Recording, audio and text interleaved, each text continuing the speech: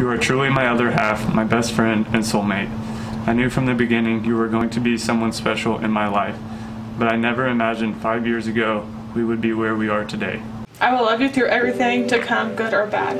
With all my love and stupid looks, Michael.